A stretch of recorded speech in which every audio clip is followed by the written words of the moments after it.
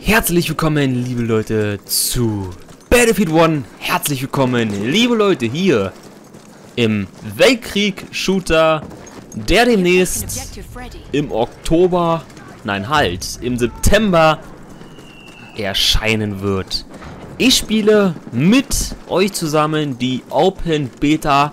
Ich zeige euch ein wenig vom Spiel. Ich weiß noch nicht, wie viele Episoden ich davon rausbringen werde. Aber es werden es mal ein paar sein. Ich möchte euch ein bisschen erklären, was man hier alles so machen kann, was es so für Operatoren gibt. Und ja, ich fange jetzt einfach mal an, ein bisschen hier rumzulaufen, weil wie man gerade sieht, es sind wirklich sehr, sehr wenige Spieler auf dem Server. Ich zeige euch das mal kurz. Also es können bis zu 64 Spieler auf diesem Server sein. Und ich zeige euch auch, euch auch mal ein bisschen so die Fahrzeuge, die ganzen Luftfahrzeuge. Oben sieht man schon mal einen Bomber. Wow, ein sicht, sichtig geiles Ding. Hier fliegt er einfach mal ganz tief rüber. Man kann ihn auch richtig schön abschießen. Dann kriegt man auch Punkte wie im Battlefield 4. Also das ist so ähnlich. Ja, und die Spielphysik ist so ähnlich wie Star Wars Battlefront. Es hat sich aber ein bisschen geändert. Aber es ist immerhin ein Weltkriegsshooter. Ein Shooter, den man sich wirklich schon sehr, sehr oft gewünscht hat in Battlefield. Also es gab ja bisher eigentlich immer bloß äh, moderne Kriege. Ich sag mal, die Amerikaner gegen Russland. Aber hier ist es so, hier spielt die United Kingdom gegen zum Beispiel die Türkei, also gegen die Türkei. Also es ist ein bisschen anders gesetzt, dieses Spiel, aber es macht wirklich, ich verspreche euch das, und das ist eine Beta, es macht wirklich eine sehr, sehr große Menge Spaß, dieses Spiel zu spielen. Die Atmosphäre ist einfach nur bombastisch. Und wie ihr es hier gerade seht, ich bin auf einem Pferd. Ihr glaubt es kaum, es ist ein Pferd integriert in Battlefield 1. Und man kann auch mit seiner Waffe irgendwie hin und her schießen, wenn er zum Beispiel so ein Gegner hier lang rennt. Man kann auch noch, was kann man noch in die Hand nehmen? Es ist eine neue äh, Waffe dazugekommen, ein Schwert. Ich weiß nicht, was das sein soll. Aber man kann damit Leute killen, wenn man jetzt so richtig anfängt zu reiten. Kann man den einfach mal den Kopf abschlagen zum Beispiel. Aber es ist ja in Deutschland so, dass dieses Spiel jetzt nicht 100% an Cut rauskommt, weil, ja, weil das halt nicht geht. Ich weiß nicht, warum das so ist, aber ich glaube, diese Gewalt wäre dann zu krass. Das gibt es halt dann auch bloß in Amerika. So, da kommt schon mal ein Pferd auf mich zu. Okay, ich steige jetzt am besten ab und hol mir diesen Kämpfer. Okay, ich habe ihn, glaube ich, erwischt. Ja, wow, und dann bin ich auch schon ähm, Private Stufe 2. Also ich bin im zweiten Level in der Open Beta. Ich habe dieses Spiel mal ein bisschen schon angespielt zum Anfang, dass ich euch ein bisschen was erklären kann. Wie das alles so ist. Man muss erstmal ein bisschen rein ähm, fokussieren, dieses Spiel. Es ist nicht leicht zu Anfang und gerade wenn alles auf Englisch ist, ich bin jetzt nicht so der Englisch-Pro, der einfach mal so sagt, äh, Englisch ist meine zweite Hauptsprache. Nee, so ist es bei mir leider nicht. Also ich spreche eigentlich Deutsch. Ja, ein bisschen anders, anders als andere Leute, ne? Also man merkt schon, dass ich ähm, aus dem Osten komme, sage ich einfach mal so. Und ja, genau. Ich stehe gerade auf ein Gebäude. Ich weiß jetzt nicht Leute, es tut mir wirklich sehr leid, wie diese Map heißt. Es ist eine Staubwüste, eine Wüste. Ich weiß den Namen leider nicht. Das ist mir wirklich sehr, sehr peinlich. Ich habe diese Map eigentlich schon öfters gehört. Vielleicht ähm, kann ich euch das euch noch sagen. Also gleich, wenn ich diesen Gegner gekillt habe. Oder vielleicht, wenn ich gekillt werde. Also wenn ich sterbe. Vielleicht kann ich euch das ja nochmal zeigen oder sagen, wie diese Map heißt. Mensch, da drüben werden immer mehr Gegner. Oh oh. Jetzt muss ich mal ein bisschen in Deckung gehen. Na, okay. Ich glaube, das war eine Russin 1895 Marksman. Ist das... Ja, es ist ein Scharfschütze. Ja, okay. Sehe ich das jetzt hier irgendwie, auf welcher Map ich bin? Nein, ich... Ach, doch! Sinai Desert Conquest. Natürlich Eroberung. Mein Lieblingsmodus im Battlefield. Vielleicht auch in Battlefield 1. So, ich zeige euch jetzt einfach mal die ganzen Operatoren. Hier seht ihr den Assault oder anders bekannt in Battlefield 4. Also ich halte das mal so mit Battlefield 4, Battlefield 1 sozusagen von Operatoren her. Das ist der Pionier. Mit dem kann man ähm, Panzer vernichten oder etwas schwer gepanzerte Fahrzeuge mit einer Anti-Tank-Grenade, also eine Anti-Panzergranate.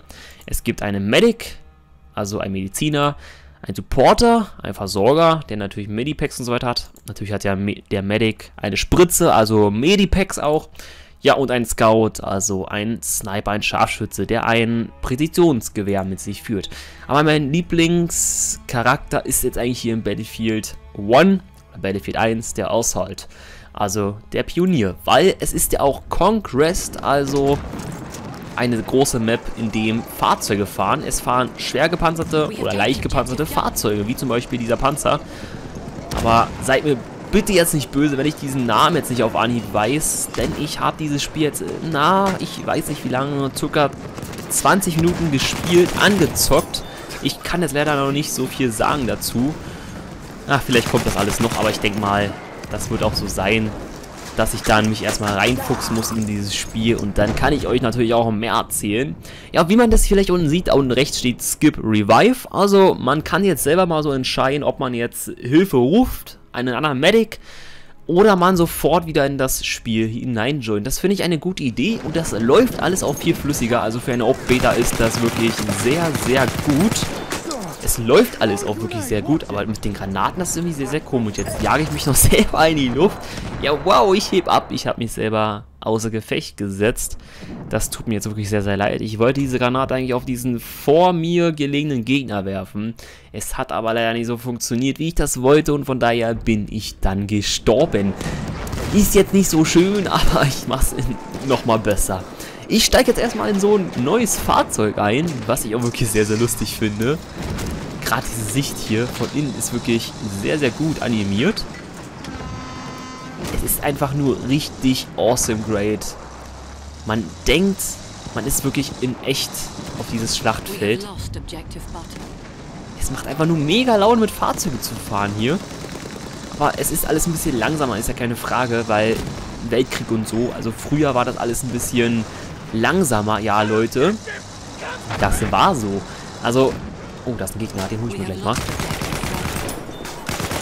Früher war alles ein bisschen langsamer als heute, keine Frage. Und da hatte man halt bloß so eine, ich sag mal, alten Karren, mit dem man übers Feld, über das Feld oder Schlachtfeld, über das Battlefield gerast ist. Oder man hatte früher natürlich auch Pferde, wie ich das eben schon mal gezeigt habe. Was kann ich denn noch so im Battlefield jetzt eigentlich so darüber erzählen? Man kann erzählen, man kann mehr zerstören. Das ist wirklich so. Also das hat ja auch EA angekündigt, dass man mehr Sachen zerstören kann. Und ich habe das schon mal ausgiebig getestet. Vielleicht mache ich das im nächsten Video nochmal, wenn ich das alles so schaffe, wie ich das möchte. Ähm, man kann wirklich sehr, sehr, wow, sehr, sehr viele Sachen vernichten. Auch wirklich komplette Häuser ähm, klein zerhacken, so wie man das einfach mal will. Also da kann man wirklich schon ein Sprengmeister sein, ja. Einfach mal ein paar Häuser wegklucken. Dann bleibt da bloß noch ein paar Ziegel übrig. Ist schon mal eine coole Sache, weil es ist, macht einfach nur mega viel mehr Bock eigentlich, dieses Spiel weiterzuspielen. Also, es ist jetzt nicht ein Spiel, das ich jetzt sagen kann, das spiele ich morgen nicht mehr. Also so ist natürlich nicht für mich.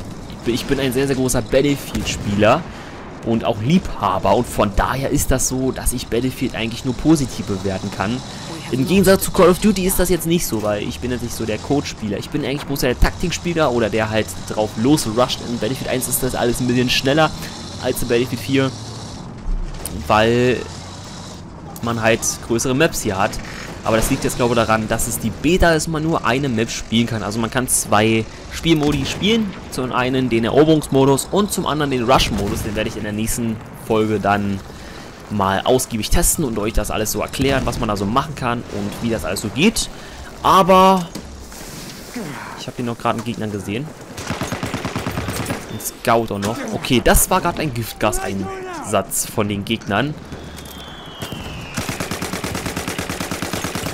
Also das ist auch neu in Battlefield 1, dass man Giftgas hat, mit dem man Leute eliminieren kann. Denn hat man extra auch, ich glaube das ist sogar der Pionier, er hat eine extra Gasmaske, damit man nicht irgendwie Schaden nimmt von dem Giftgas. Ja, das ist wirklich sehr, sehr gut gemacht.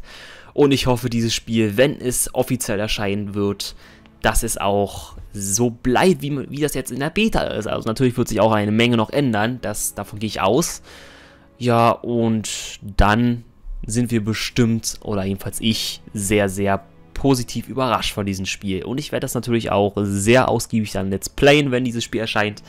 Und ja, das soll es erstmal gewesen sein für den ersten Einblick. Ich hoffe, euch hat es trotzdem gefallen oder vielleicht auch gelangweilt. Ich wünsche euch noch einen angenehmen und einen schönen Tag. Haut rein, bis zum nächsten Mal. Ciao.